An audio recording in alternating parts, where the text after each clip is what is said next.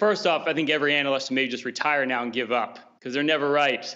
Um, but I think you know the bottom line here is it just shows you how wrong Wall Street's been all year. I mean, if you look at you know earnings per share on the S&P 500, every single quarter Wall Street has to keep upping their earnings estimates because they've been so off. By the end of the year, they could be wrong by like 40% based on what they thought at the beginning of the year. So I think there is a narrative right now because we did see a little selling earlier in the week. Didn't last that long, but we did actually finally get a little bit of selling.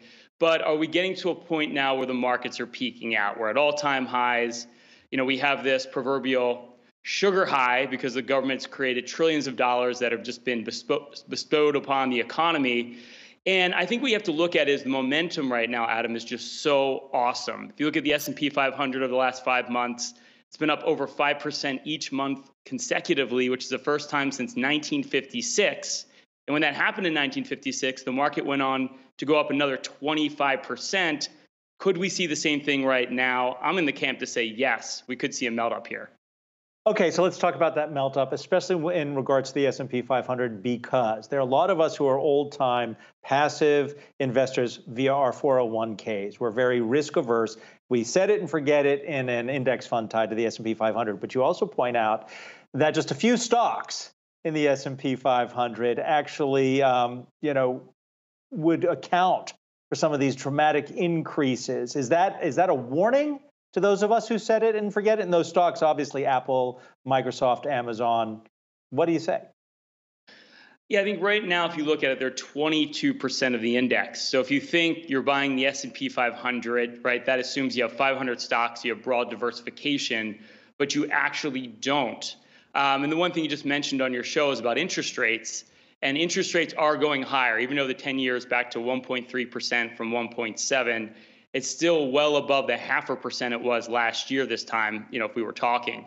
So I think if we think inflation is real, and I suspect it is, if you look at labor, um, you know, the shortage that's going on right now, it's hard to find workers.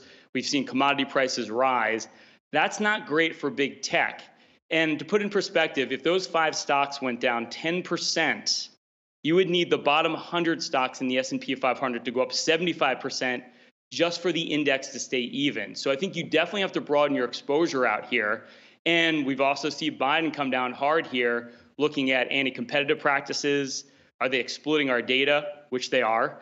Um, you know, so I think there, there's a lot of headwinds here, and you have very high valuations on these stocks. So buying the S&P 500, you're just buying a tech fund in drag. You know, you, so you've got to be careful here. If you want to get that reopening trade, you've got to broaden your exposure. The S&P is just not going to do it. But but if I don't want the reopening trade, it, it, a lot of people were down on tech stocks at the beginning of the year, and now they're right back into tech, tech, tech. And the fact is, when you look at the, the giant that Amazon is, it would take years for the federal government to break them up. As you uh, just talked about, the Biden administration coming down hard. We know he's signing the EO as you and I are speaking right now. So for those of us who have benefited you know, S&P 500 up 16% year to date. A lot of that, as you just pointed out, driven by tech. Why wouldn't we want to just stay in it, stay in with tech? Well, you know, the old saying is too much of a good thing becomes a good thing. And if you look at Amazon specifically, it's underperformed the market by about 20% since last September, which kind of coincides with the reopening of the economy trade, right? That's when the vaccine news started to come out. That's when you start seeing money go into that rotation of cyclicals energy stocks, financial stocks, which have dramatically outperformed this year, you know, well above what big tech has done. And it's 60 times forward earnings. And if you look at big tech in general, you know, Facebook, 30 times forward earnings, Microsoft, 30 times forward earnings plus. These stocks have a lot of good news baked in. And you can go back to right after the tech bubble burst back in 99, 2000, Microsoft at that point was one of the largest components of the S&P 500. They tripled their earnings from the year 2000 to 2014, but because the valuation was so high, the stock did nothing. And I think that's what the bigger risk here. It's not a big sell off in these stocks. It's the fact that they do nothing relative to the fact that other industries, other sectors are starting to pick up and do so, so much better. And money invariably is going to find it to where the growth is going to be the fastest. And you're at a point now where so much growth is baked into those stocks. That's why they've underperformed so much over the last six months since we've really seen this dynamic of being locked down to business activity picking up again. Uh, by the way, those of us who are myopic and only look at the United States, when you're looking for growth, are you telling people who listen to you, look at Europe?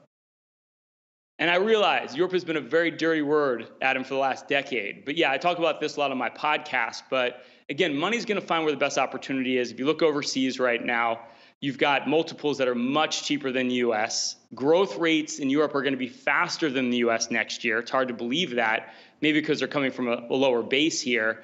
Um, but you're starting to see really, really good bargains in Europe. If you look at dividend yields, we know we're getting abysmal yields right now on your money market fund, 10 year treasury again at 1.3%. Well, if you look at dividend growth, it's going to be like 11% a year for the next couple years in Europe, faster than the US. And again, growth rates are going to pick up there. And if you start looking at playing catch up here, vaccination rates are going up big time.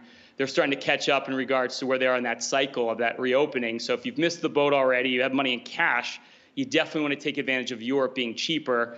And that's where money's going to flow. The dollar's starting to weaken over the course of the last 12 months. It's had a little spike here in the short term.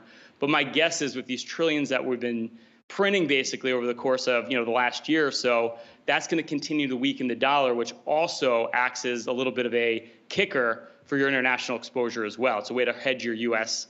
currency bet as well. You know, have be it as opposed to like cryptocurrencies or something like that.